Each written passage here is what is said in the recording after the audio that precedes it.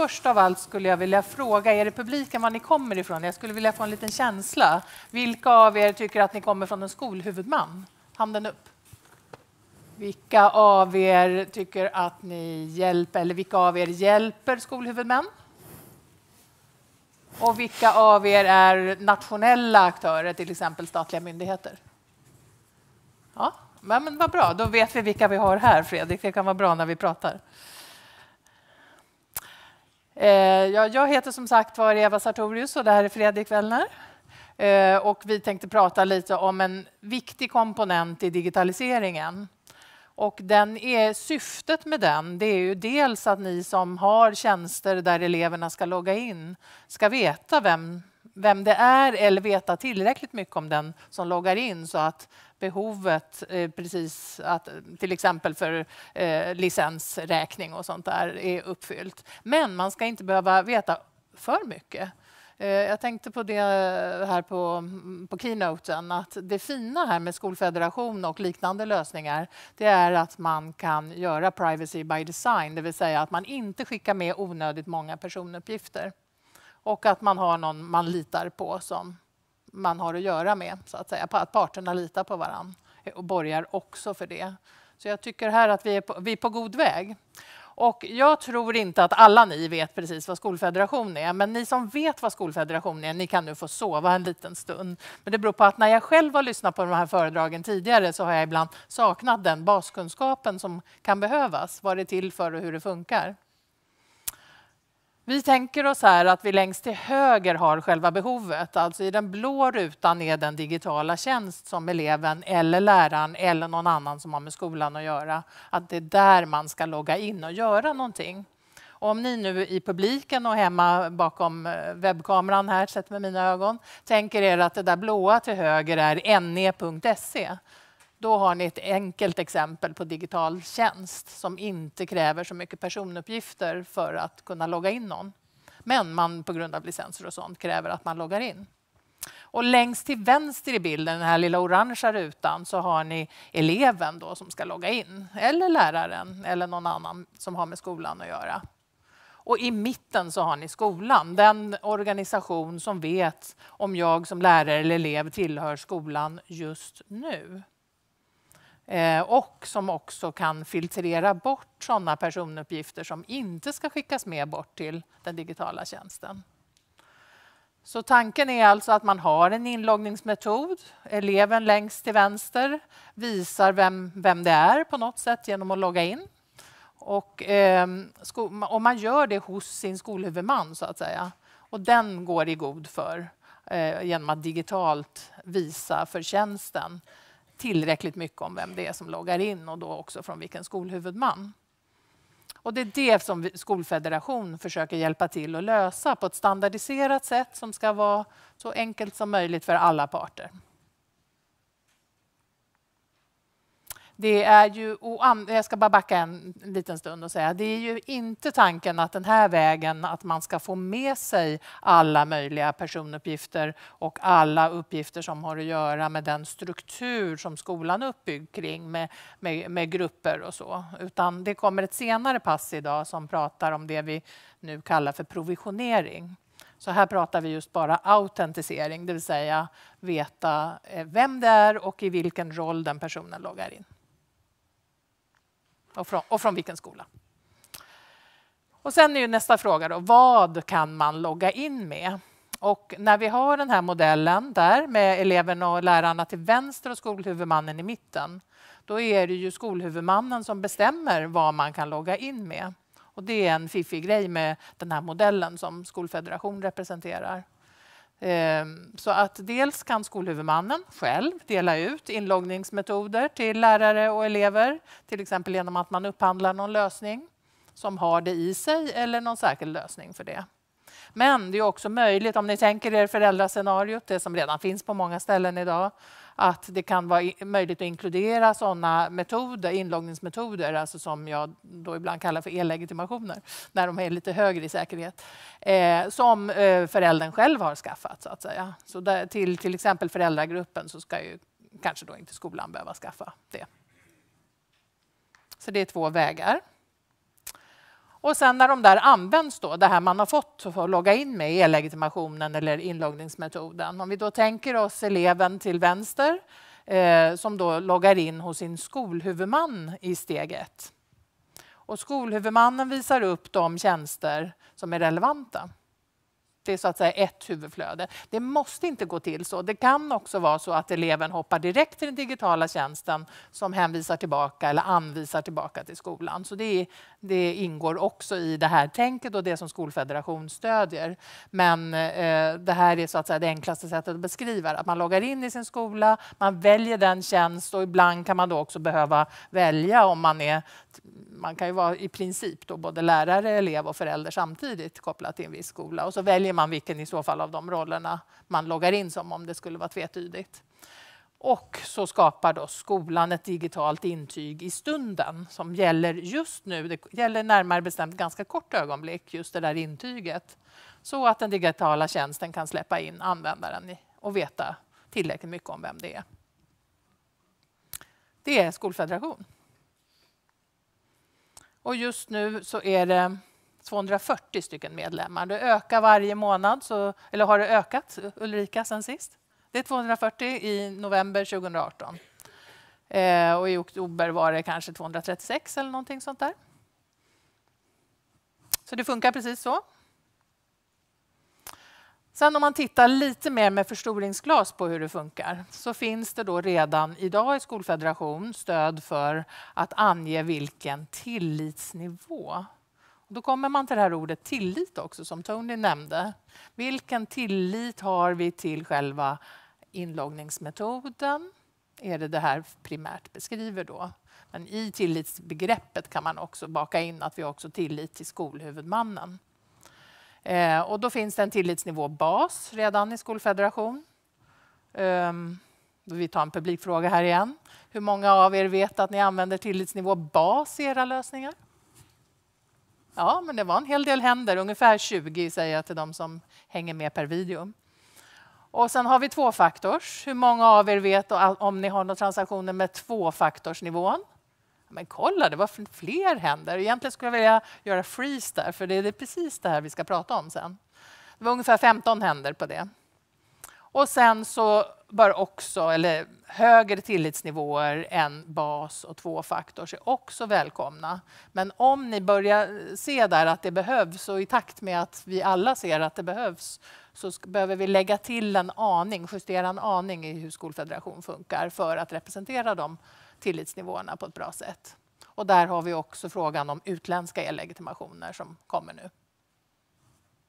Men bas och tvåfaktor, så om det är ett blankt så, så tänker vi att det är bas, eller hur? Man kan lämna tomt. Och varför behövs bas? Nu har jag ett exempel och jag vet inte om det är så himla bra exempel för det är inte färdigsnackat. Eh, men om man bara, bara som ett exempel och för att ha något i huvudet där det kanske är begränsat. Vi kan tänka oss något annat än digitala nationella prov. När vi sitter i en miljö där det finns väldigt lite förutsättningar för att skapa en tvåfaktorsautentisering. Då kan det behövas att man får logga in med bas, även om man också kan få logga in med säkrare metoder. Eh, och att det ändå blir mycket säkrare än om man loggar in med vilket användarnamn och lösenord som helst. Därför att skolan har delat ut själva inloggningsmetoden till eleven. Så att i och med att det är skolan som skickar identitetsintyget och i och med att skolan har delat ut inloggningsmetoden så blir det ju någorlunda tillit även om det är så att säga en enfaktors eller en bas. Men så har vi också då med, här med tvåfaktors. Då har ett annat exempel. Det är fortfarande digitala nationella prov. Men om man då tänker sig kanske lärarnas tillgång. De sitter inte lika kinkigt med utrustningen. Eh, de kanske lättare kan logga in med en säker, och att det också krävs därför att de får tillgång till känsliga personuppgifter. I det förra fallet så tänkte jag mig att där får man inte tillgång till några känsliga personuppgifter. Man får tillgång till ett tomt prov. Eh, men här då, lärare som till exempel ska få tillbaka eh, eller rätta eller någonting sånt där som får tillgång till känsliga personuppgifter, då krävs det ju en tvåfaktors ihop med att man säkert vet vem det är, en starka, så kallad stark autentisering. Och båda de här två varianterna stöds i Skolfederationen idag. Sen då har vi förstått att det blir ju ett krav att vara med i en federation för att få tillgång till Skolverkets prov, till digitala nationella prov. Ehm, och då har vi på Internetstiftelsen tagit ställning till det här. När det nu kommer som ett obligatorium så gör vi ett paket för de som inte tillhör, eller vad man än tillhör, men vi gör ett kostnadsfritt paket av Skolfederation. Vi kan kalla det för Skolfederation light, lite på skoj så länge, eh, så får vi se vad det formellt ska heta. Men ett Skolfederation om man bara använder Skolverkets som digital tjänst så kommer det vara eh, kostnadsfritt fortsättningsvis. Så att det inte ska bli en fråga om pris för att, gå med, eller för att vara med i skolfederation kopplat till frågan om att den här digitaliseringen som digitala nationella prov medför. Vi vill inte vara ett hinder i den utvecklingen. Och vill man köra fler tjänster än mot Skolverket då kostar det enligt ordinarie prislista som redan finns. Är det några här inne som är skolhuvudmän men som inte är med i Skolfederationen? Nej, ni är så peppade allihopa. Hej där hemma bakom kameran. Ni kanske är intresserade av det kostnadsfria. Då ska jag tala om ett litet initiativ som vi har startat ganska nyligen. Eh, som, eh, vi hade arbetsnamnet elevlegitimation, men så kom vi på att det är egentligen inte så lyckat namn, för vi, det är ju inte elevlegitimation som lärarlegitimation. Det är alltså ingen särskild legitimering. Men däremot är det en fråga om när vi har elever som skulle behöva tvåfaktors autentisering för att de till exempel ska komma åt sina egna känsliga personuppgifter. Då behövs det ju det som kallas för stark eh, autentisering eller tvåfaktorsautentisering. Ehm, och det vi då vet, en pusselbit i det här, det är att alla e-legitimationer som är godkända av DIGG, det är ännu inte så väldigt många, men det är några.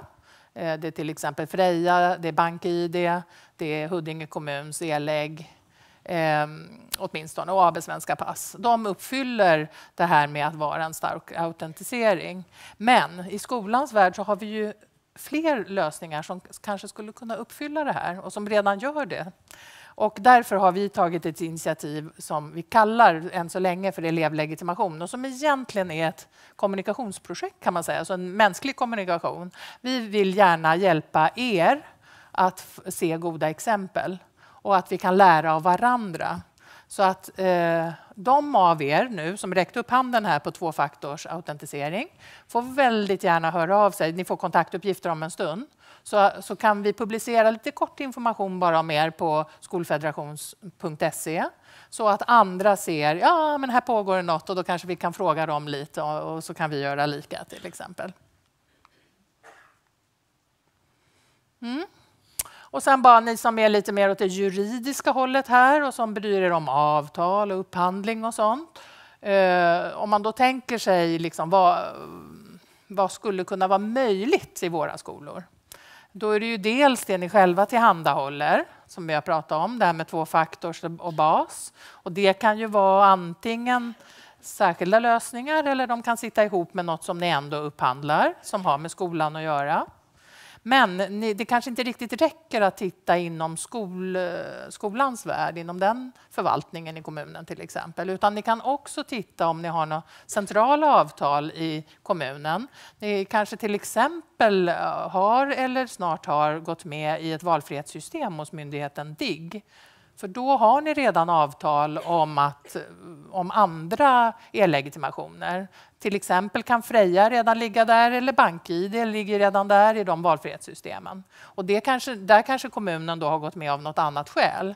Till exempel att man har invånartjänster där man behöver kunna logga in med Freja och BankID. Så det kan skolan också dra nytta av menar jag, om det redan finns sådana avtal.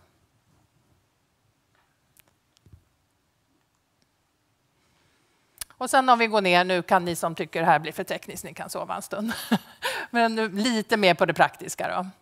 Så om vi tar någon liten checklista på det jag försöker förmedla. Det är att man dels behöver anskaffa inloggningsmetoder, kanske både bas och tvåfaktors, eh, att dela ut till elever och personal.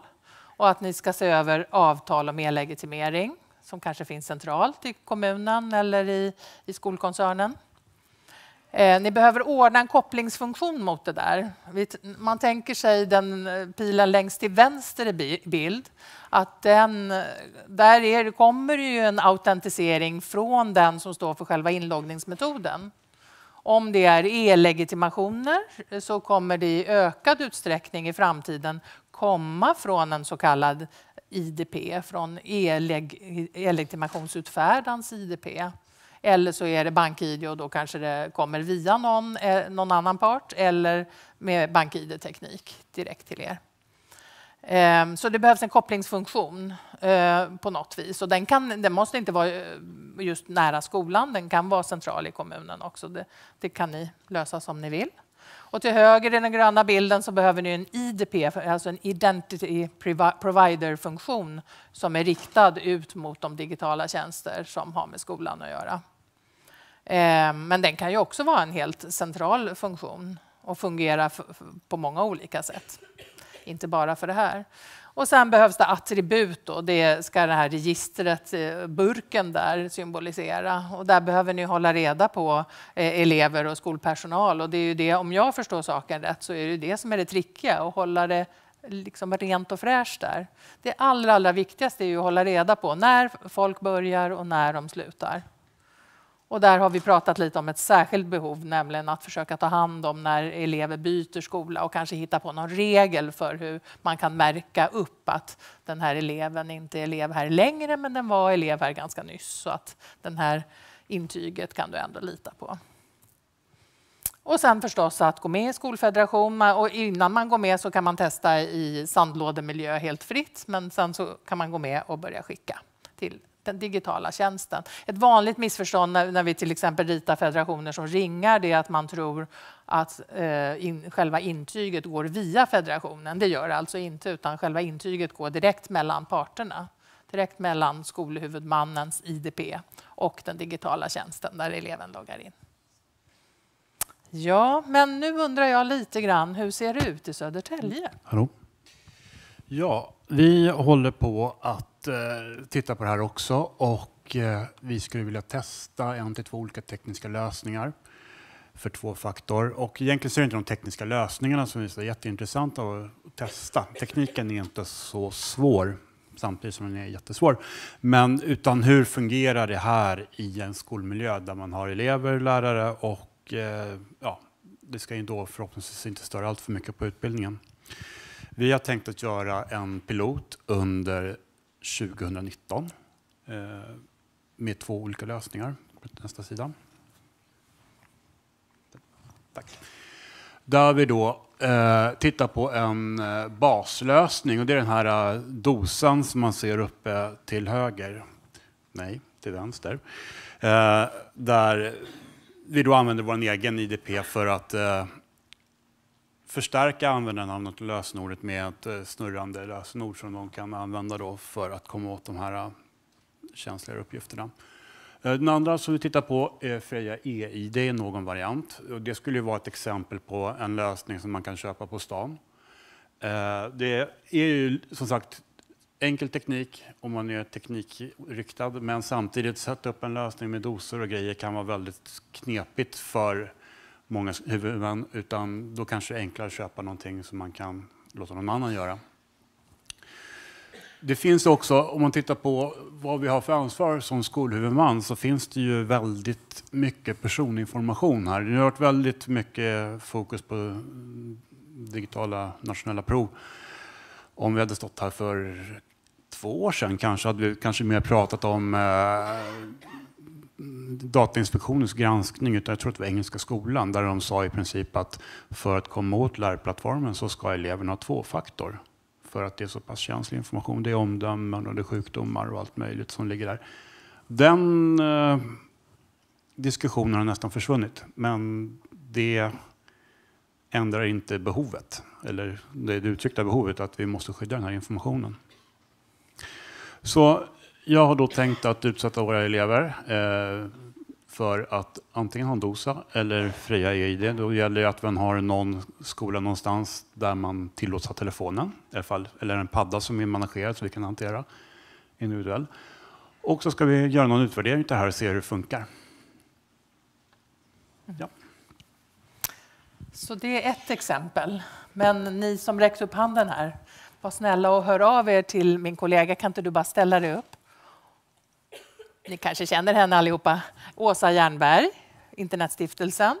Så kan vi publicera några rader om era piloter och så delar ni mer på det sättet. Och använd förstås Dela digitalt också, så att säga. Men det här är ett sätt att försöka få igång en rörelse kring att skapa enkla tvåfaktorslösningar eh, för elever och gärna även för lärare eh, på enklast och billigast möjliga sätt och förstås mest användbara, inte minst. Eller hur?